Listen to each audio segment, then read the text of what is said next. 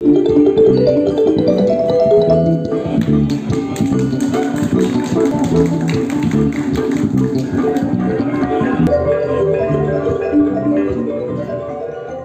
dua tahun, kegiatan dalam keramaian seperti pementasan musik tidak pernah ada selama pandemi COVID-19. Dengan semakin membaiknya penanganan COVID-19 saat ini, yang dibarengi dengan penurunan level PPKM, pemerintah Indonesia akan memperbolehkan penyelenggaraan pameran dan konser musik hingga resepsi pernikahan. Hal ini tentu disambut positif dari para musisi. Salah satunya ialah dari musisi ternama Bali, Iwayan Balawan atau dikenal dengan Balawan. Dirinya sangat menyambut baik pelonggaran yang diberikan oleh pemerintah ini. Balawan yang sering dijuluki si Magic Finges asal Bali ini, mengakui kerinduannya untuk bisa tampil di atas panggung, dengan disaksikan penonton. Karena, selama pandemi ini, dirinya hanya tampil secara virtual konser. Uh, senang banget ya, karena kan tadinya uh, kami sebagai musisi pikir musik itu adalah kebutuhan paling terakhir ya. Paling terakhir maksudnya kan setelah hotel-hotel terisi penuh, restoran-restoran kembali normal, baru musik.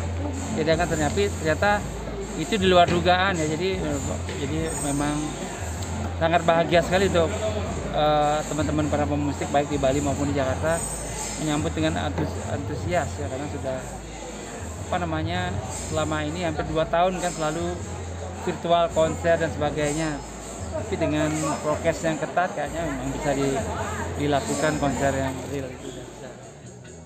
Konser secara virtual sangatlah berbeda dibandingkan dengan tampil langsung di hadapan penonton.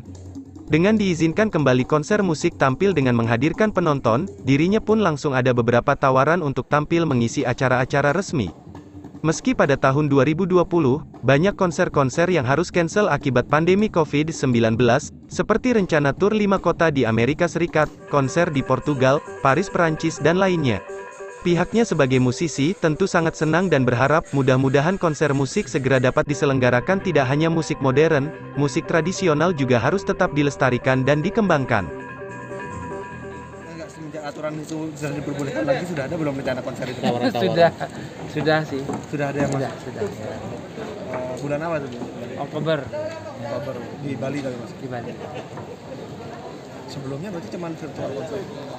Ya ada sih beberapa yang ini cuman memang uh, ya kita uh, green screen aja konsernya green screen aja penonton dan pemain musik di beda ruangan musisi kalau manggung tanpa adanya kan dulu biasanya virtual tuh. Iya, iya. Perasaannya beda nggak sih vibes-nya antara virtual sama langsung ada penonton?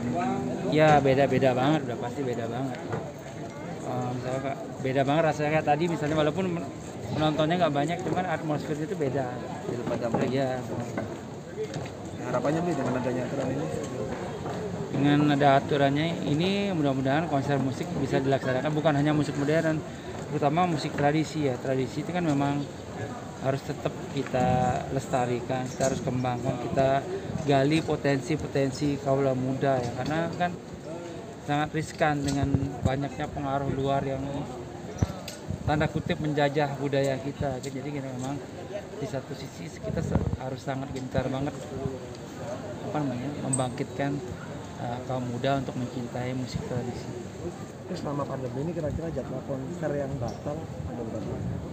Oh banyak banget dari tahun 2020 itu saya mestinya tur Amerika, oh. tur lima kota di Amerika, terus ada di Portugal sama main di uh, di apa namanya di Paris ada jadwal selama tahun ya, 2020 2020 aja udah banyak banget yang cancel ya.